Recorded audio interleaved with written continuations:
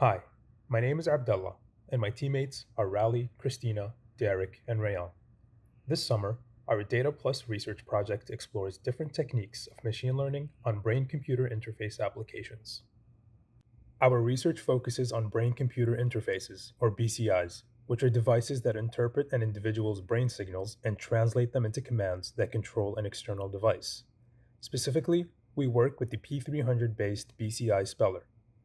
To spell a character, a user looks at a screen of characters, such as the one shown here, and focuses on a target character, while groups are sequentially flashed.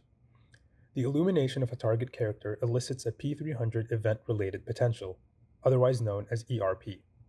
The BCI analyzes the brain signals as a response to a stimulus with a machine learning classifier to detect ERPs, and discerns the user's intent by matching the detected ERPs to the character presentation pattern. Traditionally, the BCI machine learning model is trained on data collected from the BCI user during a calibration phase.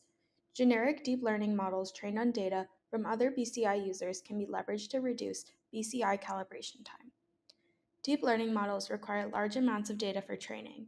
However, there are limited BCI data available from target BCI end users, such as individuals with ALS, while a large amount of BCI data from the general population are available for transfer learning.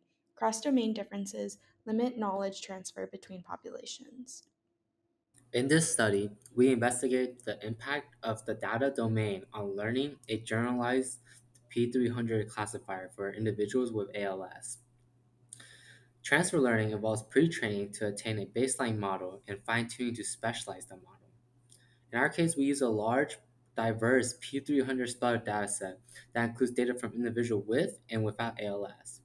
The three data domains for model training include subject-specific, which is data from the target ALS subject, within domain, which is data from individuals with ALS, excluding data from the target ALS subject, and cross domain, which is data from individuals without ALS. For target character estimation, we use the Bayesian algorithm, a probabilistic character scoring function. We explored various combinations of classifier and stopping criterion. The classifier options include stepwise linear discriminant analysis, a traditional machine learning model, and EEGNet, a deep learning model. The amount of data collection prior to character selection was either static or dynamically determined. After simulating BCI spelling with EEG data, we analyzed the within subject changes in performance across the various conditions. We confirmed prior findings that show a dynamic stopping criterion significantly reduces spelling time while maintaining comparable accuracy. When looking at character accuracy, generic EEGNet models trained on data from individuals without ALS performed poorly compared to models trained on subject specific data, highlighting a limitation of cross domain transfer learning.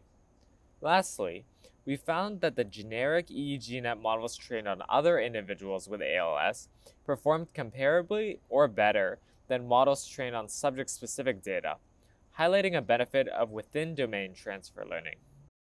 Overall, we showed that the BCI calibration time can be reduced with generic deep learning models trained on data from the target BCI end user population. In the future, we hope to improve transfer learning with enhanced feature preprocessing and alternative learning strategies. Thank you. We hope you enjoyed our presentation.